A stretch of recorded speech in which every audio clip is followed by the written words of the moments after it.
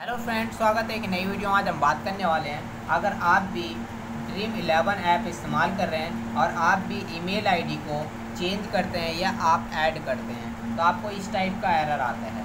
तो कैसे आप इस प्रॉब्लम को फिक्स कर सकते हैं? तो आज की वीडियो में यही प्रॉब्लम को फिक्स करके दिखाएँगे और इस चैनल पर पहली बार आए हैं तो चैनल को सब्सक्राइब लाइक बेलाइकिन के बटन ज़रूर दबा दें, ताकि आने वाले वीडियो का नोटिफिकेशन आपको मिलता रहे।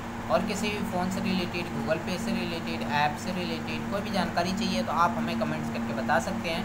नहीं तो आपको वीडियो के डिस्क्रिप्शन में लिंक मिल जाएगा, आप वहाँ से भी प्रॉब्लम को सॉल्व कर सकते हैं।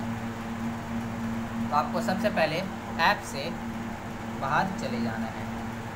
ऐप पर फ़ोन के सेटिंग्स को ओपन करना है। ओपन करने के बाद आपको इस टाइप से इंटरफेस देखने को मिलेगा। ऊपर की तरफ़ स्क्रॉल कर लेना है।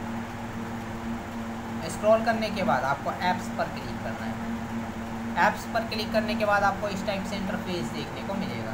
सेकंड नंबर पर क्लिक करना है, उसके बाद आपको इस टाइप से इंटरफेस देखने को मिलेगा। आपको देख लेना है ड्रीम 11 ऐप कहाँ पर है? ड्रीम 11 पर क्लिक करके ओपन कर लेना है। ओपन करने के बाद आपको इस टाइप से इंटरफेस देखने को मिलेगा। स्टोरेज पर क्लिक करना है, उसके बाद आपको इस टाइप से इंटरफेस देखने को मिलेगा। सबसे नीचे क्लियर डेटा पर क्लिक करना है। क्लियर ऑल डेटा पर क्लिक करना है। ओके कर देना है। बैक जाना है। उसके बाद ऐप परमिशन पर क्लिक करना है। उसके बाद आपको इस टाइप से इंटरफेस देखने को मिलेगा।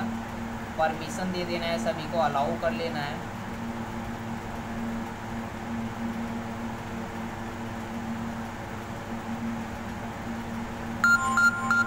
और उसके बाद बैक चले जाना है।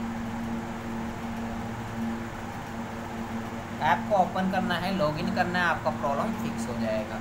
अगर आपका प्रॉब्लम फिक्स नहीं होता है तो ऐप को अनइंस्टॉल करके दोबारा से इंस्टॉल करना है, आपका प्रॉब्लम फिक्स हो जाएगा। अगर फिर भी नहीं होता है तो आप हमें कमेंट्स करके बता सकते हैं, मैं आपको रिप्लाई ज़रूर दूँगा। और हमारा वीडियो देखने के लिए शेयर सब्सक्राइब लाइक बेलाइकिन के बटन ज़रूर दबा दें, ताकि आने वाले वीडियो का नोटिफिकेशन आपको मिलता रहे। मिलते हैं नेक्स्ट वीडियो में एक नई टॉपिक के साथ, तब तक के लिए नमस्कार।